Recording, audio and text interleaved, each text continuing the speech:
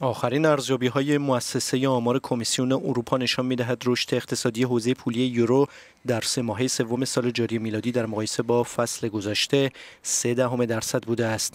این میزان از رشد در بازه زمانی یک ساله یک و شش دهم درصد گزارش شده است. حجم صادرات حوزه پولی یورو در ماه سپتامبر سال جاری دو درصد رشد داشته. در مقابل واردات به این منطقه افتی معادل دو درصد داشته است. به این ترتیب تراز تجاری منطقه پولی یورو به رقم 26.5 میلیارد یورو رسیده که در مقایسه با زمان مشابه در سال 2015 رشد دارد. کمیسیون اروپا به دلیل تردیدهای ناشی از برکسیت در پیش های خود نسبت به روند رشد اقتصادی حوزه پولی یورو تجدید نظر کرده است. بر اساس برآوردهای این نهاد رشد اقتصادی این منطقه در سال 2017 میلادی 1.5 درصد و در سال پس از آن به رقم یک و هفت دهم درصد خواهد رسید.